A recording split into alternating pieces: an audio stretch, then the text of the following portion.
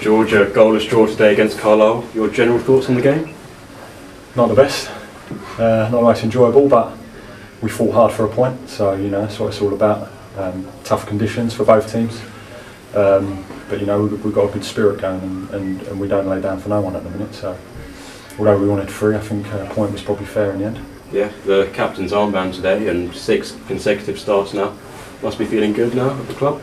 Yeah, yeah, enjoying myself. Um, you know, feel a bit reju- rejuvenated. Been a tough first start, um, first half of the season for me personally, um, but it's good to be out there getting some good results and, and playing football again. Yeah.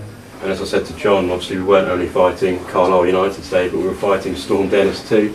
Yeah. Um, how do the conditions affect the way that the team plays?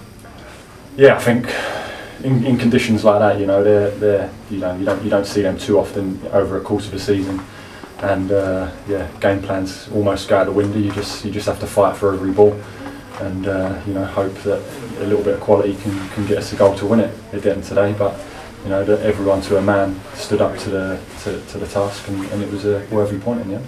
Thanks, uh, George.